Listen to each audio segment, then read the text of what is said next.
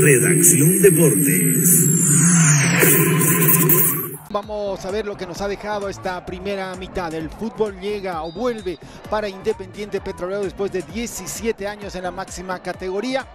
Aquí la ocasión para Oriente despejada por David Díaz, el central uruguayo. Y después este remate de Cristaldo, un hombre de buen pie normalmente, pero ahí le entra mal al esférico y salía desviado el cuadro de Independiente, al cual le costó generar eh, situaciones ofensivas. Y después Henry Vaca que estuvo desatado, sobre todo la primera media hora ahí en conducción, trataba de picar el balón por encima de los defensores y el portero salía por encima del larguero, pero fue una muy buena intención del 10 que tiene Oriente Petrolero en esta temporada. De lo poco que consiguió el cuadro local, que tuvo dos remates totales a portería, y la mayor cantidad de ocasiones las gestaron de esta manera. Centros desde la banda, derecha o izquierda, buscando a los delanteros, ya sea a Eric Correa o en este caso Martín Prost, que alcanza a cabecear pero incómodo, facilitando la labor del portero Quiñones.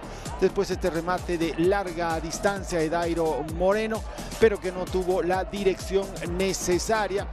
Le va a apuntar a la cabeza de David Díaz. También está Chiati. Pelota por alto.